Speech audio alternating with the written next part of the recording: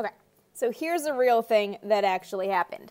In the 1960s, at the height of the Cold War, the CIA was like, you know what's really small and hard to de- detect and all these things that are kind of like spies? Cats like this thing. So the CIA decided to train cats to follow direction and then implant them with microphones in their ears and an antenna in their spine and a battery pack in their chest, and then send them out on missions to track known Soviet agents to listen in on conversations. This is a real thing that happened, Project Acoustic Kitty.